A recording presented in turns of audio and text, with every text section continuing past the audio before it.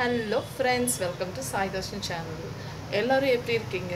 எல்லோரும் நல்லா இருக்கீங்கன்னு நான் நினைக்கிறேன்.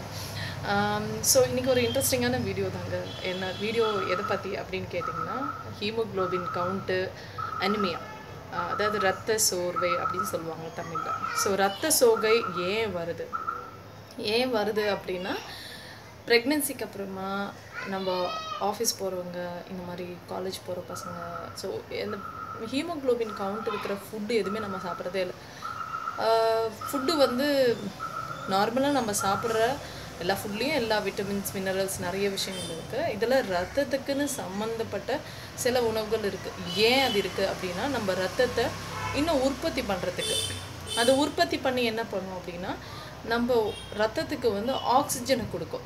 ஸோ இந்த ஆக்சிஜன் சப்ளை பண்ணுற இந்த ரத்த கவுண்ட் வந்து கம்மியாகும் போது தான் இந்த ரத்த சோகை வருது. இந்த ரத்த சோகை வர்றதால நிறைய பேர் ரொம்ப டயர்ட்னஸாக இருப்பாங்க. எப்பயுமே டயர்டாக இருப்பாங்க. அவங்களால எந்த வேலையும் செய்ய முடியாது. அடிக்கடிக்கு ஜுரம் வரும். அடிக்கடிக்கு தலை வலிச்சுக்கிட்டே இருக்கும். எப்போ பார்த்தாலும் சாப்பிட பிடிக்காது. எப்போ பார்த்தாலும் சோர்வாகவே இருப்பாங்க.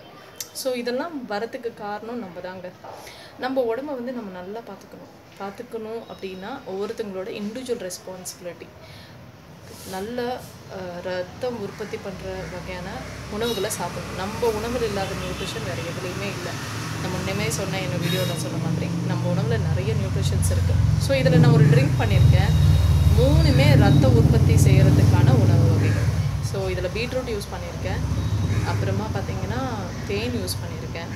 அதுக்கப்புறமா ஃபிக் யூஸ் பண்ணியிருக்கேன். ஸோ இந்த மூணுமே யூஸ் பண்ணி ஒரு ஜூஸ் ரெடி பண்ணியிருக்கேன். அந்த ஜூஸை வந்து நீங்கள் வடிகட்டி குடிக்கலாம் இல்லை அப்படியே கூட குடிக்கலாம். ஸோ ரொம்ப ஈஸி தான்.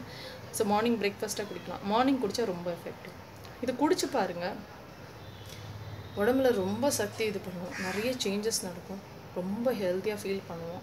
ஸோ நான் அந்த ட்ரிங்க் எப்படி செய்கிறதுன்னு காட்டுறேன். வீடியோக்குள்ளே போகலாம் உங்களுக்கு இது இன்ஃபர்மேட்டிவாக இருக்கும்னு நான் நினைக்கிறேன்.